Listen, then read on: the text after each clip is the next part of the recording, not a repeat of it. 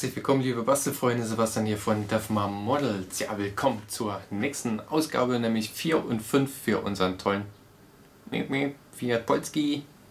Ja, in der heutigen äh, Ausgabe werden wir am Motor anfangen und was genau, das zeige ich euch gleich, wenn ihr ein Stück näher kommt. So ihr Lieben, und zwar habe ich jetzt gerade noch mal in die Einladung reingeschaut. Wir werden mit der Vorderradaufhängung als erstes anfangen und im zweiten Teil werden wir uns dann hier den nächsten Teilen oder den ersten Teilen für den Motorblock zuwenden. So, aber wie gesagt, als erstes machen wir diese Aufhängung hier und da schauen wir jetzt gleich mal, wie wir hier am besten anfangen können. Als erstes mal brauchen wir hier diese große Platte. So, ich lege mir jetzt bloß mal die Teile hier ein bisschen zur Seite. Hier muss man nämlich auch tierisch aufpassen. Hier sind nämlich immer rechts und links Teile dabei, wo aber auch nichts draufsteht. Also jetzt hier zum Beispiel bei den Teilen sieht man es gut. Ich versuche es mal so, dass man das weiße Tuch als Hintergrund hat. So, da sieht man schon, dass es zwei unterschiedliche Teile sind. Aber hier ist jetzt kein L oder kein R drauf für links und rechts. Dann sind hier auch diverse Teile immer zweimal weil wir die ja logischerweise auch zweimal brauchen. Ne? Aber gucken wir gleich mal. So, also als erstes brauchen wir mal diese Platte hier. So, die sollen wir jetzt, äh, wo seid ihr? Da. Da sollen wir jetzt hier diese aus Plastik diese Teile hier einsetzen. Und zwar einmal so rum, dass wir sie so rum in der Hand haben und diese kleine Plastiklasche, die kommt hier über diese Bolzen hier in der Mitte. Legen wir das bloß hier so drüber. So, drücken das ein bisschen nach unten. Oh, ich muss mal mein Licht über den Tisch holen. Ich sehe hier fast gar nichts. so, das gleiche machen wir hier auf der anderen Seite. Den stecken wir da ebenfalls drüber und drücken den bis ganz unten durch.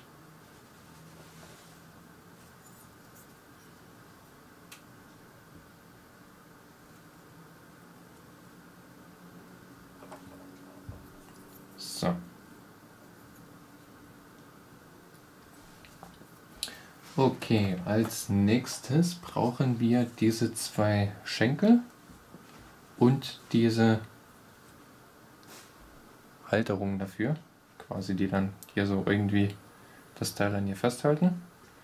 Die brauchen wir als nächstes, einmal rechts, einmal links und jeweils zwei Schrauben EM. Äh, die habe ich hier. 1, 2, 3, 4. So, also als erstes soll der Schenkel mit dieser Schraubvertiefung nach oben, also hier auf dem Teil müsst ihr gucken, dass das nicht falsch rum drauf sitzt. Hier ist eine Erhöhung und hier ist eine Vertiefung. Und die Vertiefung brauchen wir oben, weil da der Schraubkopf reinkommt. Äh, legen wir das einmal hier in diese Rundbacken rein also hier einmal so einlegen, festhalten und dann kommt jetzt das andere Backenteil hier so drüber. So.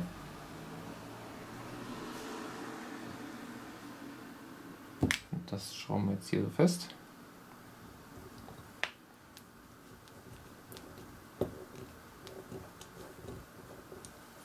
Einmal wieder fixieren.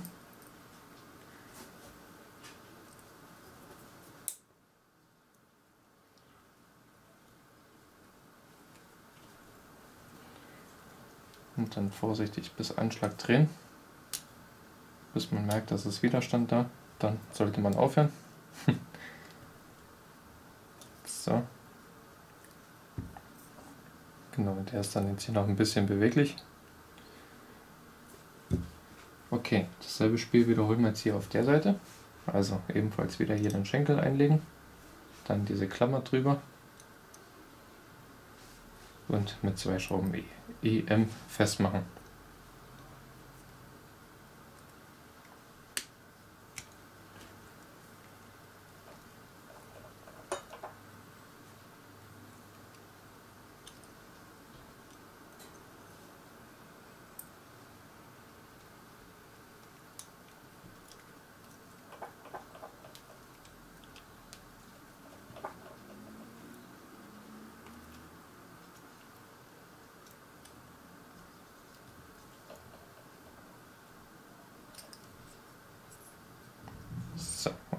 Das haben wir auch. Gerade nochmal Wackelprobe machen. Das ist fest, das auch. Gut. Dann kommen jetzt als nächstes äh, mit zwei Schrauben LM. Das sind hier so eine kleinen Senkkopfschrauben. Für den nächsten Schritt. Und dann brauchen wir hier diese zwei äh, so sehen die Teile aus.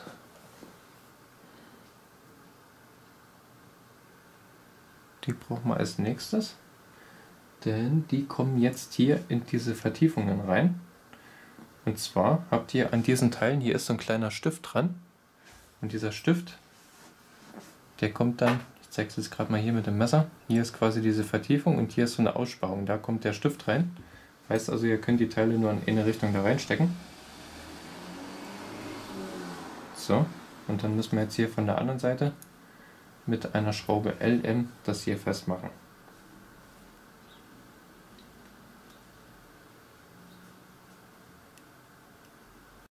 So, okay, nachdem wir jetzt hier beide drin haben, können wir hier weitermachen und zwar mit den Teilen hier. Da schaue ich gerade mal, ob die sich optisch irgendwo unterscheiden. Okay, aber hier ist ein R und hier ein L eingebrannt. Okay, super. Dann können wir den linken und rechten Stift 4E und 4J. Also ist J, nee 4E ist der linke, das ist der, das ist 4E und dann ist das 4J. Müssen wir jetzt hier genau aufpassen. Wir haben jetzt hier nur als Orientierung, hier ist nichts auf dem Rahmen und hier sind zwei so eine Erhöhung drauf. Das heißt, das ist jetzt links und das ist rechts. Und den linken, den hängen wir jetzt hier. Ne, biegen jetzt. Ah, genau, andersrum. So, das hängen wir jetzt so hier ein. Und müssen jetzt hier mit einer Schraube FM, nee Quatsch, nicht FM, sondern BM, müssen wir jetzt hier von jeder Seite einmal rein.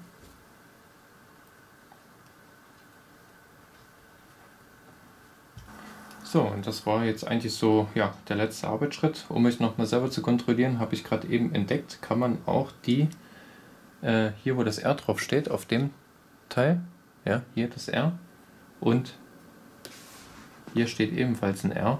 Also so kann man sich nochmal selber kontrollieren, ob man die Teile alle auf der rechten Seite hat. Äh, so sieht es jetzt aufgeklappt aus.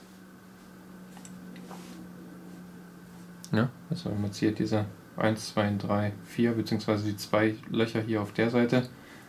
Dann müssen die Scheiben jetzt so nach unten zeigen, dass diese Schraublöcher von den Schnuffis hier jeweils nach innen zeigen. Ne? Das war's also einmal dazu. Und dann geht's jetzt mit dem Motorblock weiter. Und zwar brauchen wir dafür diese drei Teile. Dann diese zwei.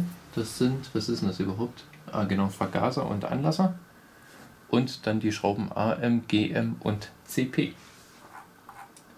So, wir werden als erstes den Motorblock zusammensetzen. Dafür einfach die linke und rechte Hälfte einfach hier zusammenstecken.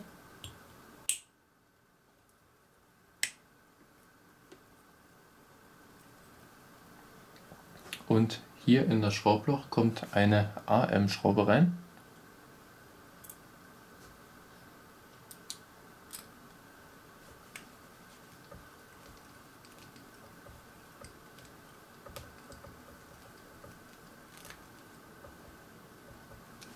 So. Wir als nächstes den Anlasser. Das ist dieses längliche verchromte Plastikteil. Dann eine Schraube GM. Und wo machen wir den fest? Gerade mal gucken, die haben das Teil so rumliegen. Und schrauben das jetzt hier in diese Aussparung hier rein.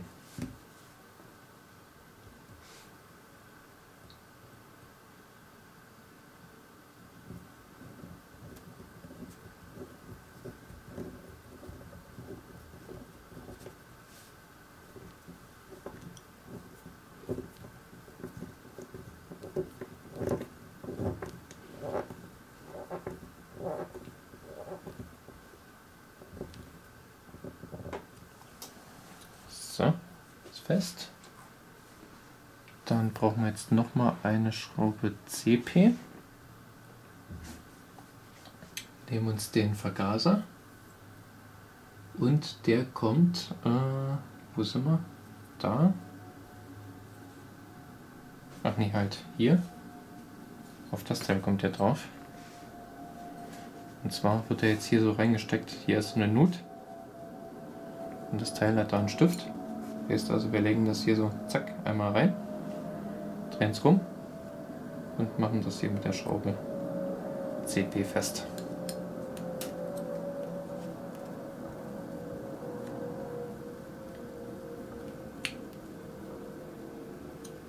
So. Dann brauchen wir zu guter Letzt nochmal eine Schraube AM.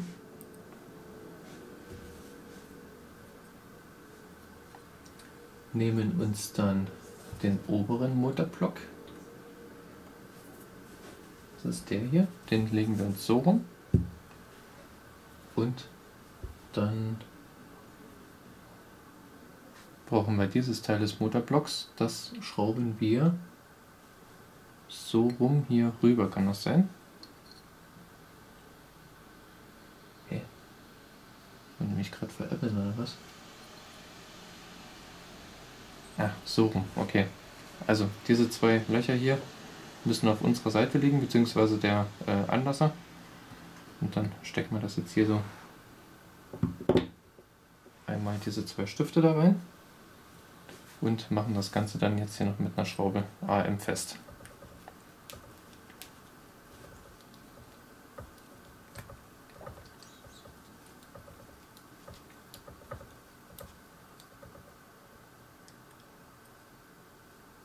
So, da leidige passiert, dass die Schraube abgerissen ist.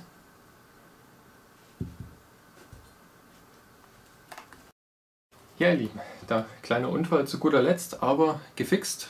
Also ich habe das jetzt nochmal die Schraube aufgebohrt, äh, nochmal neu eingesetzt und die zwei Stifte, die quasi auf den unteren Block kommen, habe ich noch mit Sekundenkleber versehen, dass es noch ein bisschen mehr fixiert ist. Ne? Dann natürlich auch das, das Schraubloch an sich nochmal mit Klebstoff gefüllt und jetzt hält das eigentlich gut. So, also das war jetzt einmal die Ausgabe Nummer 5, der Motorblock und Ausgabe 4 die Radaufhängung, die erste. Ne? Und ja, dann müssen wir natürlich jetzt warten, bis das nächste äh, Päckchen kommt. Aber ihr könnt ja dabei die anderen Videos angucken. Also macht's bis dann gut. Ciao, euer Sebastian von der von Ade.